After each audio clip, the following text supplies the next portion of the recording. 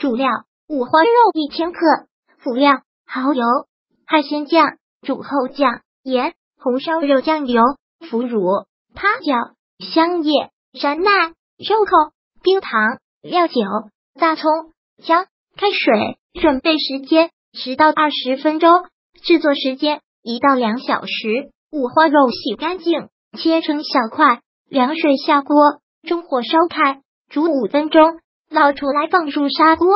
准备好所有的食材，除了盐以外，逐一放入砂锅，做一壶开水备用。将烧开的水放入砂锅，没过肉就可以。大火开锅后，盖上盖子，改小火炖一个小时。一个小时后，打开盖子，放入盐。用大火收汤，十分钟的样子就 OK 了，简单吧？看这鲜香的红烧肉，食欲来了吧？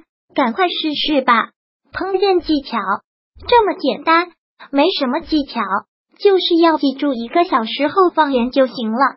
如果喜欢本视频，请分享并订阅本频道，访问 TT News X Y Z 获取更多相关资讯。